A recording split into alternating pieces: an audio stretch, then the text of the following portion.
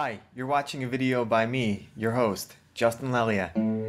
Here I am riding my bike across Biscayne Boulevard in Miami, Florida on the morning of June 29th. I'm going to pick jackfruit. I don't know whether or not a jackfruit will be ripe on this tree, but I visit the tree every day during the summer times. There's over 50 jackfruits on this tree, the most I've ever seen over the past three years. I'm about to climb up into the tree and pick a ripe jackfruit. I touch all 50 of these jackfruits.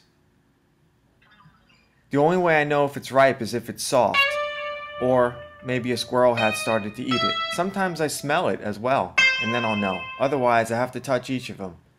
Hey, look at that, I found one.